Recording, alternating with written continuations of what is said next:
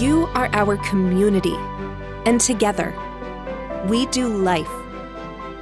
Serving, partnering, growing.